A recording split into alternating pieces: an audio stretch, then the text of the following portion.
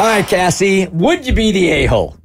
Probably, but I just I want to hear it from you guys. So I had a friend post a gender reveal video online. Yay, it's a baby! And when they popped the little batons or whatever that show the confetti. the confetti that is the color of the gender, right? Pink is girl, blue is boy. It was pink. So they're having a girl, and the husband immediately looked pissed off, threw down his little wand, stalked backwards because it wasn't a boy. Mm.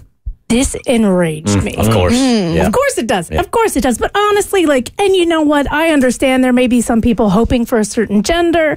I get that. And that is valid disappointment. But to have it so publicly displayed mm-hmm. on such a fun day when you should be like rejoicing with your wife, it, it just rubbed me the wrong way. Now, the thing is, I'm friends with this couple. So I know them personally. Was I, this, was this like typical behavior of him, or was this kind of like were you a little shocked by his reaction? I'm shocked. Let me put this: I'm fringe friends. Okay, so okay. like I know them, but it's not like I hang out with them a lot. Mm-hmm. Um, I want to call them out. I want to be like, "Why are you so disappointed? Congrats, beautiful baby girl. Why the anger?" And just leave it at that because I feel like he needs to be called out because this kind of behavior. But then on the flip side, it's also his wife's gender reveal video. Mm. Like, am I going to ruin it by pointing out that her husband has a sour patch face? I just think it's gross behavior to be so disappointed. It's their first kid, so disappointed because it wasn't a boy.